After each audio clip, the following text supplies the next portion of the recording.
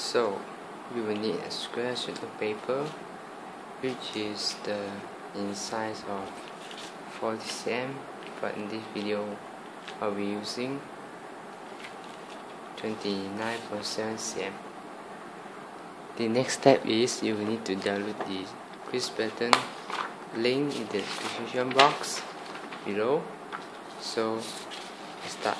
We need paper that have 32 by 32 grid. Okay. So as you see. So let's start. First, you draw the creases according to the crease pattern. So, start four square. Okay.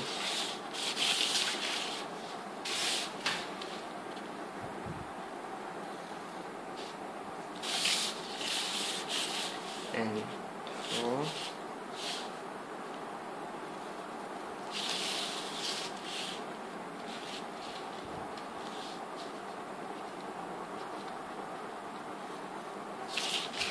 for actually you can just crease straight on but I prefer drawing for beginners okay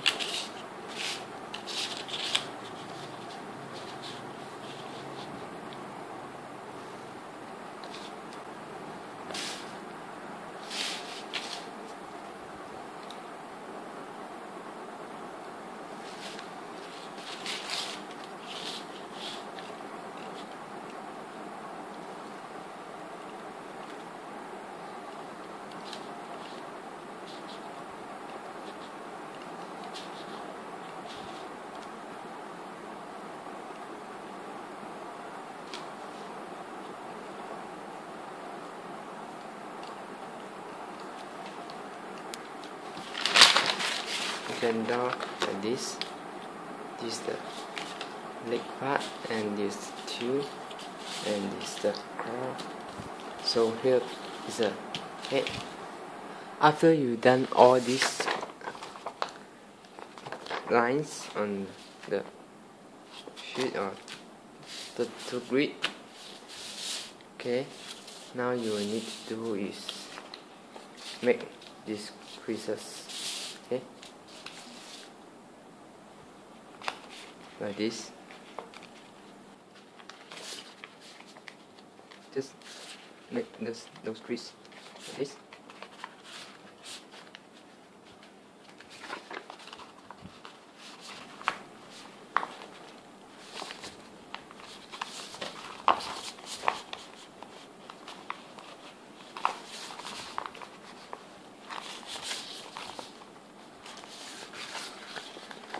so now you get the idea of it.